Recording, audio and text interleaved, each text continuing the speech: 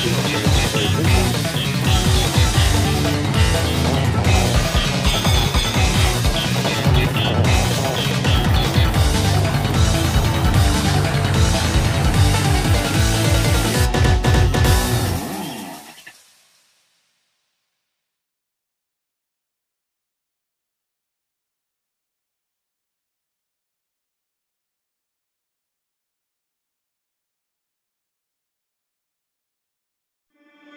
Cause we got just one second till eternity.